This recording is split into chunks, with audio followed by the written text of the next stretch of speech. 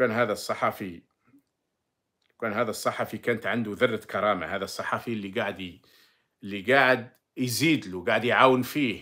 بدل ما يطرح له أسئلة مثلا يقول له كيفاش هذه كذبت القرن؟ هم كاين حراكيين هذون وهذون هما يا تبون هذون هما اللي آه، يعني ثورتهم انتفاضتهم هي اللي طاحت بوتفليقه اللي راك أنت في بلاصته الآن.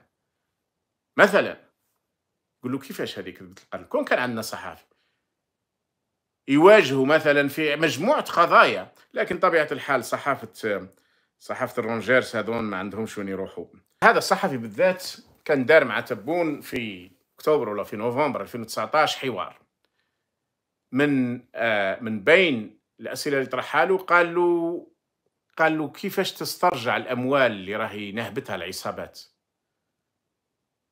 راك عارف وين راهي؟ قال له اني عارف وين راهي. كيفاش تسترجعها؟ قال له ما نقولكش.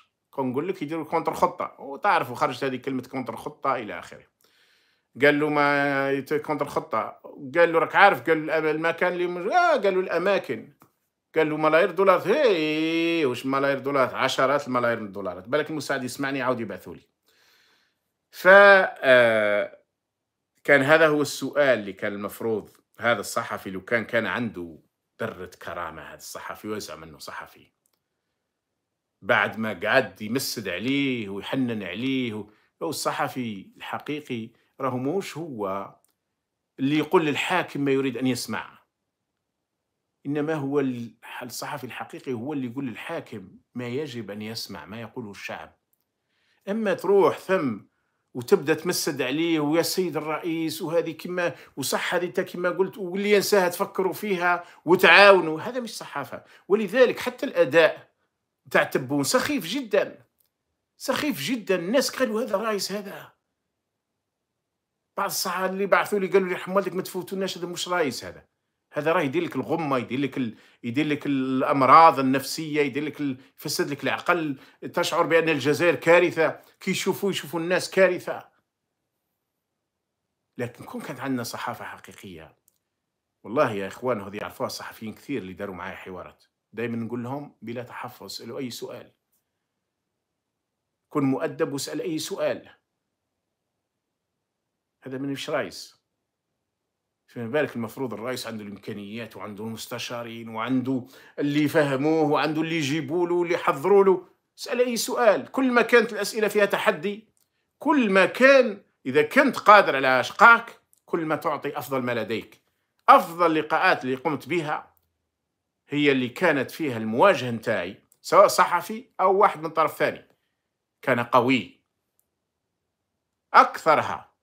لذلك مثلا من بين اللقاءات اللي الناس يعتبروها ربما ذاك لقاء كلاسيكي هو لقائي مع الهاشمي الشريف في جونفي 2019 1990 واللي حضر فيه رضا مالك الهالك رضا مالك وخالد نزار وغيرهم.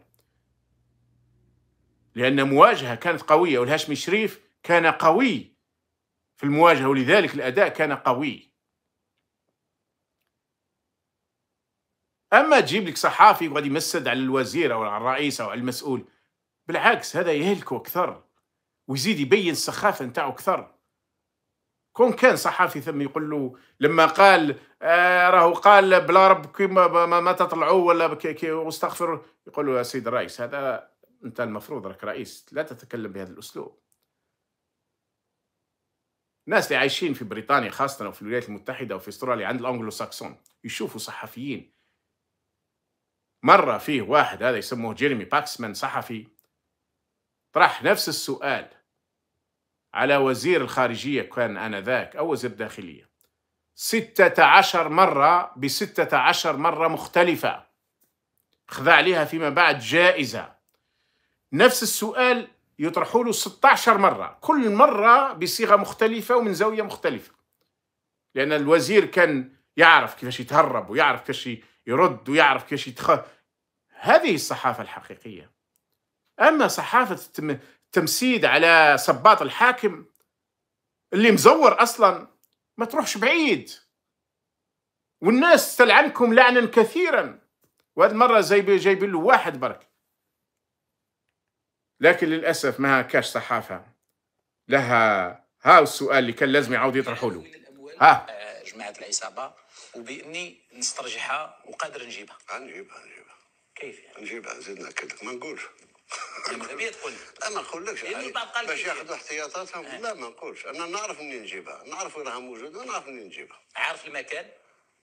الأماكن مش المكان. الأماكن. بلدان في بلدان. ما نقدرش مسألة الموضوع؟ لا, لا لأن أمور تتطلب نوع من السرية لا المتحريين ولا ولا ولا ولا ولا ولا المهم أنا؟ ألتزم يلعب باش يعرف شحال القيمه تاعها 10 ملاير 5 ملاير آه، 20 مليار 10 ملاير. لا نتكلم على دولار طبعا لا نتكلم لا على- 10 ملايين دولار يحصرها وين راح 10 اي ملايين دولار؟ حسره وراه يا لطيف أكثر شحال يعني.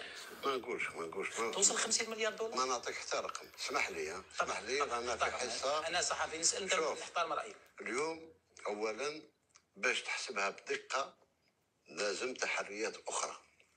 تعاود تقبض الصفقات تعاود تقبض شيء المشتريات في الخارج تعاود تحويلات اللي ندارت بصفة آه، قانونية وغير قانونية. بين قوسين. وغير قانوني. بعد 30 شهر سنتيم ما جابوش. نتحداه لو كان يجيب لنا دولار واحد يقول هاهم جابوه من برا ها. مع إنه قال لك راه عارف الأماكن عشرات الملايين الدولارات وما يقولش باش ما يديروش كونتر خطة. نتحداه. آه نقول لك منين جبت الدراهم؟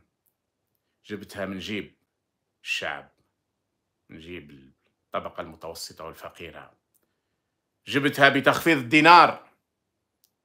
دينار من اللي جاء. تبون راه نقص بأكثر من 25% في مواجهة الدولار. روحوا شوفوه.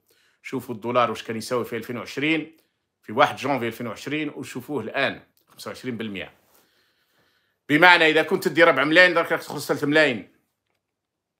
وإذا كنت تدي زوج ملايين درك راك تدي مليون ونص. هذا بتخفيض الدينار مباشرة. جابها من الغرامات اللي راهي تفرض ما زالت تفرض على الناس. على الفلاحين وعلى الموالين وعلى التجار وعلى الغرامات اللي تتمد للدولة ولا الغرامات اللي تحط في جيوب المفسدين والفاسدين من الدرك والشرطة. جابها من ارتفاع الأسعار. جابها من les taxes و les impôts اللي زادهم و les timbres اللي زادهم على كل شيء. من ثم جابها. وها هو ما زال يزيد يجيب هاد الأيام من les affaires تاع الأولاد اللي داخلين المدارس اللي راهي ارتفعت بنسبة تقريبا 300% بعض الأدوات 300% اللي كانت تتباع ب 100 دينار قبل عامين راهي تتباع درك 300 دينار أو ب 250 دينار أو كاين اللي تجاوز 200% وكاين 300% وكاين اللي أكثر من ذلك. ها منين جابها؟ لو كان كان هذا الصحفي عنده ذرة كرامة لو كان ذكره غير بهذا القول. يقول له يا طبعا ما يقول له السيد الرئيس يا تبون المزور في الحقيقة.